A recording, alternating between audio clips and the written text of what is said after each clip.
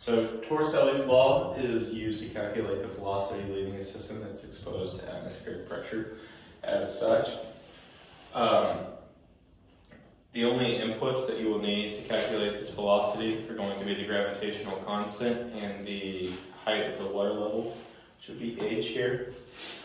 Um, as you can see, uh, meters per second squared times meters, you get squared meters per second squared. Take the square root of that, get meters per second.